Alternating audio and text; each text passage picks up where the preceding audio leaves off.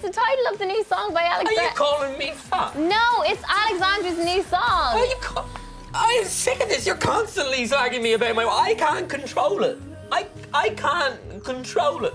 You're I- doing this on your own. I don't know what got us go today. Anyway, on a lighter note. On a lighter note, it's always about side, and that's a bit of a point now. You make me comforty. Let's just see what happened when we got talking to singer Alexandra Burke a little while ago.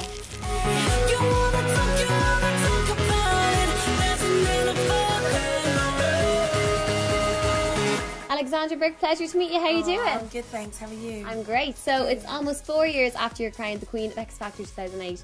Has it been everything you've wanted to be or you expected? it's been a lot more than what I thought it could ever be. Um, I, you know, still to this day, well, till my dying day, I'll only ever thank those who voted for me and got me to where I am today. And do you think it'd be safe to say that this is where you've wanted to be your whole life, even as a teenager? Oh God, yeah, absolutely. I said to my mum, like from the age of 16 when I finished school, I was like, I'm not going to college. Nice, I She's like, like, it. she's like, you are going to college. I was like, well, I've not applied for any, so therefore I've not been accepted. It means I'm not going. I'm going to sing.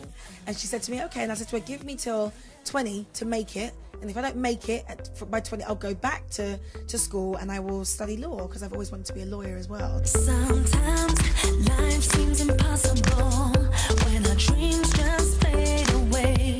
What was it like then when you just went plucked from obscurity, normal girl, going to school, doing whatever, and now you're an international pop star? How is that transition for you? Um, it's weird. It's different.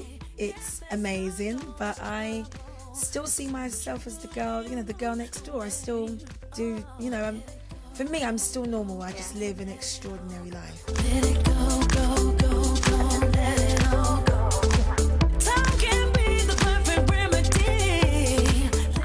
Music wise, this time now to come is going to be very busy for you, isn't it? Tell us a bit about, about what's going on. Yeah, I mean, I'm now. Uh, I've just finished my second album. It's called Heartbreak on Hold. It's out in on June second. It's an album that's gonna get you on the dance floor. It's an album that you know, if you're feeling down, it's gonna turn it into a positive, into a positive situation.